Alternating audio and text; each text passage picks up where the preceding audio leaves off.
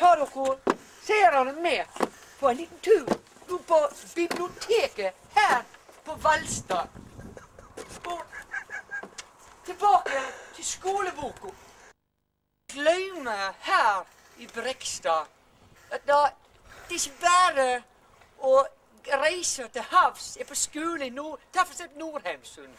Der ligger så mange skoler og venter på en student. Så nytter jeg om vi, vi glemmer så lett det er kanskje her, i kystsamfunnets rot, vi skal finne feste og bære frø. Det er mangt en skal huske på som fisker og industriarbeider i et bondesamfunn Og en trenger både deg og meg på arbeidsplassen bare ikke slik en sommerdag eller midt på blankeste vårtermin. En skal mye gjøres klart for sesongen. En skal kaste nyingen på flatt, som det heter. Og Da fleiser du han og bruker kroppen som stang og gir han en heiving. Halt, halt,